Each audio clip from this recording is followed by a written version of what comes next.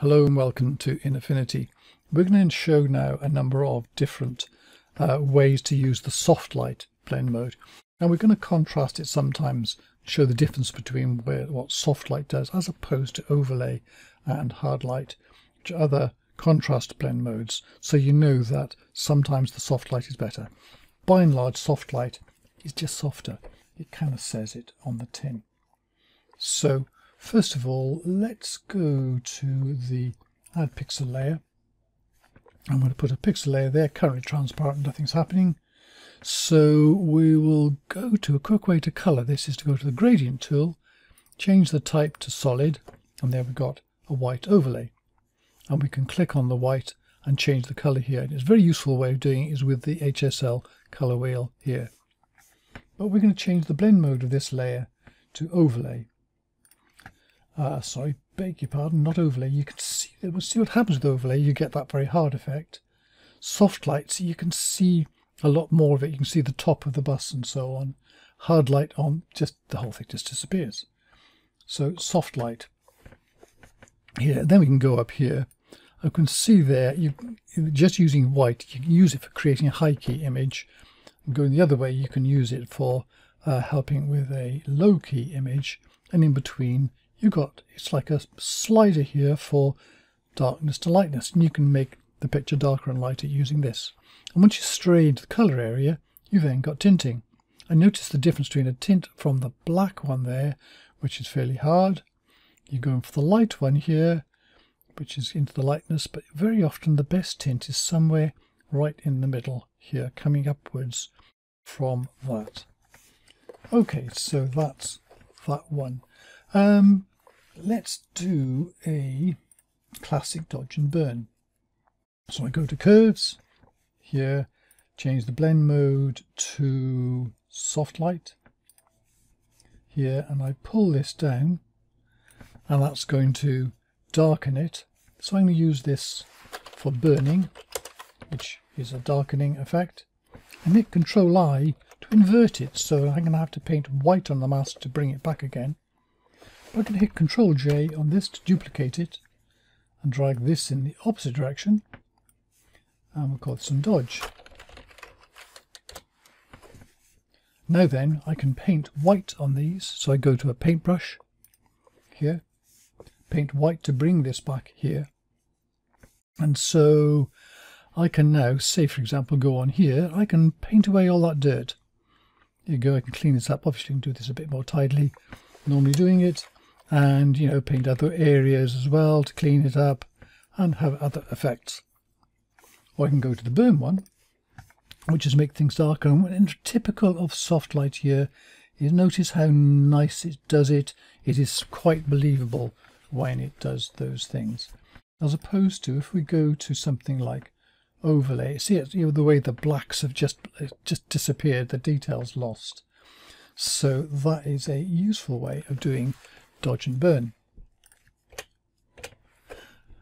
What else? Oh, let's do an interesting glow effect here. Well, typically what you do, a, a way of, of making a glow, is go to a Gaussian blur, turn up the radius like that, put on preserve alpha to hold the edges, and put a blend mode of, say, soft light on it, and you've already got a nice blur there you can actually extend this effect. I'm just going to go back to normal here. And before this, turn that off and put on a maximum blur. And if I turn this up, what you get is a kind of blockiness. And what it's doing is doing that maximum blur first and then the Gaussian blur on top of that. So if I put that one on there, you can see it's actually blurring that maximum blur. So you get a stronger effect. So I shift click those, control G to group them, and then I can put a blend mode of soft light onto that. And you can see you're getting a much stronger glow effect there. So two ways to do glow, two for the price of one. Then what we can do is let's go to the black and white. Filter here, again blend mode to soft light.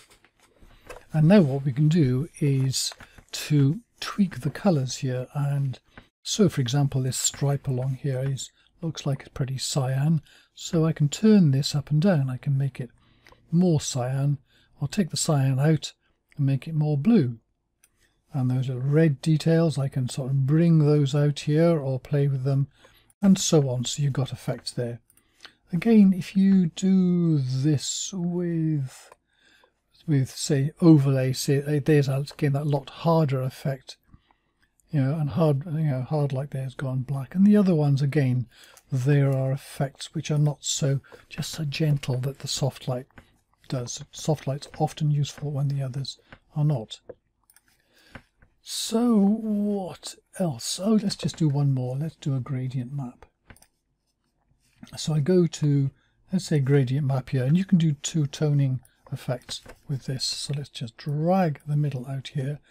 In here we'll put a color for something that is dark. So let's go to blue and take the the darker parts and make it darker for the shadow end of things which is here.